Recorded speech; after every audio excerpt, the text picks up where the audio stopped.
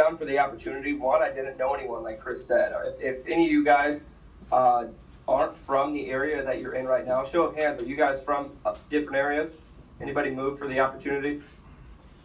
Who's not from Calgary? Yeah, actually, we had, uh, I don't know if everybody knows this, but Michael Gordon, Shane Hurdle, and Matt Cook were all personally recruited and all moved from Saskatchewan specifically for this opportunity and had to quit their job and move here, not knowing anybody to start here. So we've got quite a few people that are in the same same spot as Southern for sure. Awesome. So I realized that right away I wasn't going to know a lot of people. Two, I was brand new in the company. I didn't have extra money to pump into recruiters right? So all I knew is I was seeing people, and everybody needs this opportunity. Because if David Carpenter didn't reach out to me, I wouldn't be in this position. So I'm forever grateful, and I want to share the same opportunity with everybody else, right? So, like I said, I moved across the country. I realized that it was a two-in-one situation. I was seeing people for activity. Might as well see them to recruit as well. Just like we collect referrals, we can collect recruits. Okay, we see people every single day, and the best part about this, guys, it's duplicatable. Um, pumping a lot of money into recruiters isn't necessarily duplicatable for the newest person. That's all we care about is the newest person. Personally recruiting from social media takes practice. It's not necessarily duplicatable right away for the newest person. Um, so what I do before I go into a house, before I start the role play, is I set goals before every single house to remind myself I need to go in for recruits. Okay. Sorry, just got a phone call. Uh, one, I said the number of referrals I want to collect. Two, number of referrals I want to book from the home. But three, number of recruits. So I set these goals, not even worrying about if I make the sale or not, because I don't want to go for the sale if I haven't hit these three categories yet. Okay? Before every single home, I set that goal. And then the other ones would be, you know, protect the family, 1,200 ALP per sale, et cetera, et cetera. Um, so when I go in, it's just like a normal warm up, guys. You don't want to do anything different because if you try to do something different, you're going to feel weird and you're going to have a weird vibe coming off. Uh, just be you, right? Ask normal questions like you would in a warm up. So, hey, how's it going? Where do you work? Do you like it? Right? Does it pay well? Oh, I've been in that same situation. I, and then emphasize with them, right? Uh, so, really quick, in the front row, uh, blue shirt. Yes. You're going to be my, uh, my role play, okay? Okay. Awesome. So, what's your name? Ben. Ben? Yes. Great to meet you, Ben. So, Nice you. uh, you're my client. We're talking right now. You can choose wherever you want to work, and we'll go from there. Okay. So, yeah, Ben, uh, you said you've been in the area a while. What is it again you do for work? Uh, I do construction. Construction. Oh, you're a hard worker. That's pretty awesome. Are you in the management, or you just uh, a normal employee? Labor. Labor. Awesome, man. I respect that. It's well, at least uh, down here in Phoenix, it's hot. So that, that's a hard job. Hopefully, it pays well. Yeah. Uh, well, so obviously, I'm not talking about you. Then it sounds like you love your job. You probably don't want to leave construction. I'm assuming you want to retire from that, right? Yeah. But fortunately, people surround themselves with people like themselves. Okay, so you must have friends who are also hardworking. But more importantly, Ben, I bet they want to make more money, probably get into management and uh, retire after 10 years of uh, being in a company. That sounds pretty great, right? Yep. Right. So uh, we were talking earlier. You said you had a couple friends in the area. What were their names again? Who do you think would uh, want to make some more money? Off the head, I could think of Isaac, uh, Daniel, and Greg. Isaac Daniel, and who was the last one? Greg. Craig. Awesome. Yeah, those sound like outstanding individuals. So yeah, obviously, like I said, Ben, um, not really going for you. Jeez, I keep getting phone calls. Not really going for you because you said you love the spot you're in. Um, but those three, let's go ahead. Give me their numbers. I can reach out to them. I can get them an interview. Right? I can't promise them anything. Once they're in the interview, it's their time to shine. Um, but I bet they would uh, really appreciate making that, uh, making more money. Right? Absolutely. Absolutely. So then after that, guys, if he's not showing interest, then it's good. I went for the indirect approach. I go for the indirect approach in every situation. Because if you sit down and you're talking directly to the person, you try to recruit them, they're going to feel pressure, and then the whole, even your sale, everything is going to go right down the chute. Does that make sense? So just don't make it about them. If it is the person that you really want, then they're going to jump at the opportunity right when you take that away from them. You start talking about their job, like, man, obviously, I'm not talking about you. You love construction. You probably never want to leave construction. But now your friends, you, you probably have some winning friends. Who do, who do you know out of your friends that wants to make more money, right? Then he's thinking, well, why isn't he asking me? I want to make more money. But I don't want to retire from construction. I don't want to work in construction for the next 40 years, right? So always go the indirect approach, and it's a win-win. If you don't want the person you're talking to, great, you got their friends. If you do want the person they're talking to, great, you got their friends, and you can always fold back to the person you're talking to. Okay? If he shows interest, shake him off, take it away again. If he's like, no, no, why are you talking about me? I want to make more money. I'm like, Ben, no, of course. You said you were happy. Remember, we just went over that. So I'm going to go with your friends, and then later in the later in the conversation, right? I'm just like, you know what, Ben? I feel bad because you did show interest. I know you're happy, but you know what the heck? What I can do is get you an interview too. But like I said, I can't promise you a job. I can promise you an interview. It's up to you to shine in the interview. Does that make sense, Ben? Yep. Absolutely. And they're like, yeah. Now they feel better about themselves. My closing ratio has actually gone up about 12% when I'm recruiting in the home.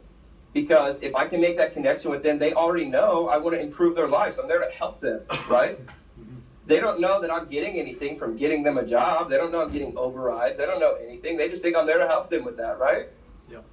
So I'm building that trust, building that relationship, and then I go on with the sale like we didn't even have that conversation. And at the end of everything, I come back to it and I recap. I get them in group right then. I set up the time and date. Okay. Uh, always use takeaways.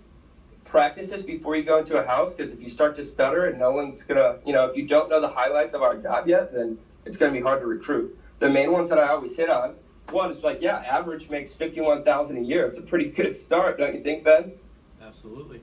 Yeah, absolutely. Yeah. The best part is though, man, on the job, the company lets us go on trips out of town for 10 days and we come back making no less than $5,000. It's incredible. Right away, that's road trip culture. I don't know what you guys have set up uh, there, Chris, but I know us down in Phoenix, um, we like road trips. We love road trips. We're about to go on a 36 day one right now, um, about 15 of us, and uh, to do something special. So, what that does, which is a little side note, but when you're recruiting, you're already putting the road set or road trip mindset in them. Because right when they come to the interview, I've had four times now where they ask me after group, because they don't talk about road trips at group. They come to me, they're like, Southern, you said there's trips where you make 5000 in 10 days. Why didn't they talk about that? I was like, that's actually crazy. That's, that's uh, awesome that you asked. That's only for my management team, et cetera, et cetera, et cetera. I go on and I talk to them about road trips. Day one, all they want to do is road trip.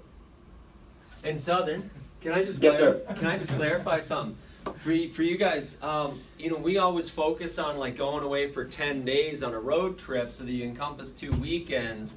One of the ways that Southern just backs up exactly what he says is the fact that when they do road trips, correct me if I'm wrong, but they just basically send you out on a road trip with your leads and you don't come back until you're at 10 grand ALP. That way, even if it takes you a month, you still made five grand that week, month. But at the same time, too, that way when you're personally recruiting, it's you always you can go on trips and you always come back making five grand, whether that's a week, a weekend, two weeks, or however long it takes you, right? Yes, sir. Yeah. So the reason we shoot for 10 days is because that's ideal. Nobody wants to be gone for longer than that. And when you set a goal, everyone's fast. They're going fast to hit that 10,000 ALP Nobody wants to be the last guy that's holding everyone out, you know, of the town, out of state, or I guess not state for you guys, out of province, you know, whatever it is, um, away from their family. Everyone's grinding for that 10,000 ALP. And it's really easy to recruit and get into road trips when everyone's coming back making really good money right? People are usually happier when they have this thing called money. I don't know how why that works, but um, it does, right? So I know Chris was actually up recruiting in the home. What you said two this week, Chris? Yeah, Saturday I was out on a ride along with Kyla and I did two sits myself. And after talking to Southern down in Lake Tahoe, I tried to do exactly what he said. So, first of all, it worked in both homes. But second of all, and both are coming in for career night next week, which we'll talk about in a bit. Uh, one of them just keeps talking to me about this opportunity because she's so engaged and she knows I'm doing her a favor instead of the other way around because I did what Southern said. I took it away. I asked her if she knows anybody looking for for full time work because we're expanding and we've gotten the opportunity where we could actually take people out on field trips or they have the option of coming into the office for an information session, learn more about it. Who do you know that could be looking for you know a better career opportunity? And she said, "Well, what about me?" I said, "We all we already discussed. You're a cook, right? Trolley five. Food there, I'm sure, is really good because you're the cook. And she's like, yeah. I'm like, so I'm sure you're happy there. And she's like, well, yeah. And I said, okay, well then who do you know that might be looking for full-time work? Because I know you're happy. And she's like, no, no, no, no, listen, I just got my driver's license. I'm buying my car today. I was, I've been in direct sales before. I love it. What about me? And I'm like, well, we can get to that later. I was just wondering if there's anybody that you might know that's looking for full-time work. And by the end of it, we weren't even talking about the sale anymore, which, by the way, ended up just being automatic because she was floored with how much I was going to help her. So what I did was what Southern said, which is, listen, you know what, Elsa, I'm going to do you a favor. I'm going to try to make some room to see if I can get you in for one of those uh, group information sessions, or you can come for ride along with me. What would you prefer? And she said, probably coming down to the office. I said, okay, perfect. I know you can't do it during the day, so I'll try to find a, an evening over the next two weeks. Just stay in touch with me so I can make, make sure. Now, who were the people that you were thinking of that might be perfect for this role? And so I ended up getting three more names, plus her, right? Now I'm not going to even call those three names because I got her coming in next week. I'd rather leave that for her, for her own personal recruits, to help her build her own agency within the next seven days, right? But anything else on it? Yeah, no, that was incredible, Chris. I'm glad it's working out for you. Uh, one thing I want to hit on also is make sure you say uh, we always under promise over deliver in this in this uh, job right in this opportunity so don't tell them yeah i'm going to get you a job because then if they don't get the job um, and you do sell them a policy you just want to make sure you're always transparent with them you're like look i can't promise you a job it's up to you your time to shine that way it's always back on them if they don't uh, follow through with it right that's just so um, there's a difference between them going for a job and you selling them a policy but uh, other than that guys one thing and chris is probably going to do this set up uh, incentives like contests. Have a little contest in, uh, in your office. Who's going to get the most in-home recruits? Who's going to recruit the most in general? I promise you, the people that recruit the most in-home are going to probably win that contest, right?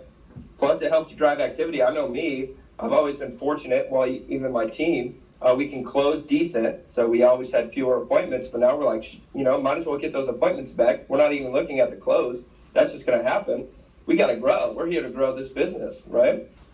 Uh, really quick though, do you guys have any questions that I can answer for you while I'm on here?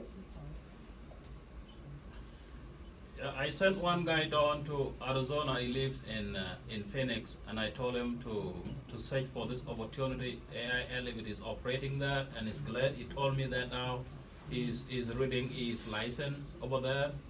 You might know him. Well, is he is he already with AIL? he say now he's been told to, to read his license there with AIL. Okay. Yeah, I, I talked to him with the phone, he's my friend. Okay, I'll, I'll give you Southern's information, contact info. Southern can follow up. Because that way, if, if there's any confusion or anything else like that, then Southern can use a 46th PR. Yeah. any, other, nice. any other questions? No? All right, Southern, thank you so much. We're gonna, you nailed it, buddy. Nailed yeah, it. we're gonna put that right into action right away. Thank you, guys. Thanks so much, my friend. Yes, sir. Have a good one, guys. Later.